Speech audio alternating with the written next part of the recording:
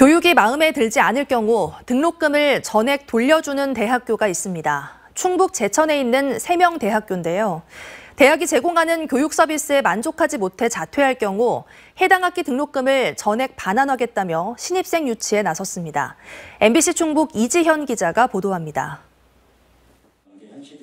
제천 세명대학교가 전국 최초로 등록금 환불제를 시행합니다. 교육 서비스에 만족하지 못해 자퇴하면 받은 등록금을 돌려주겠다는 겁니다.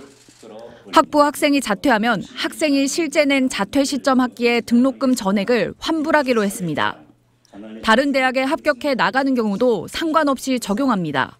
타 대학 편입 등의 수요가 있는 현실에서 부담이 될 수 있다는 것을 잘 알고 있습니다. 하지만 대학의 본질이 교육임을 사회적으로 환기하는 데 드는 비용이라고 생각하겠습니다. 이 대학의 한 학기 등록금은 평균 350만 원 정도. 지난해 공시된 실제 연간 자퇴생 300여 명으로 계산하면 한 해 환불할 등록금은 10억 원이 넘습니다. 이런데도 파격적인 환불 정책을 자처한 건 자신감 때문이라고 말했습니다. 지역적 한계로 주목받지 못했지만 교육과 학생 지원에서 자신 있다는 겁니다.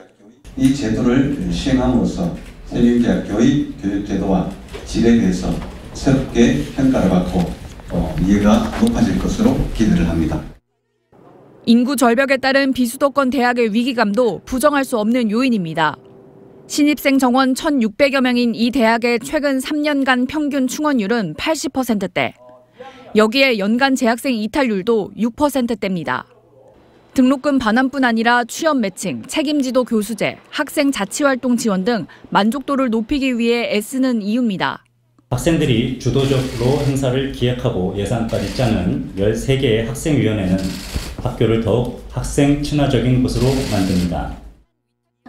운수업체를 지닌 재단을 둔 세명대는 안정적으로 재정 운영을 하고 있는 만큼 등록금 환불로 인해 교육 투자가 줄어드는 일은 없을 것이라고 밝혔습니다. MBC 뉴스 이지연입니다.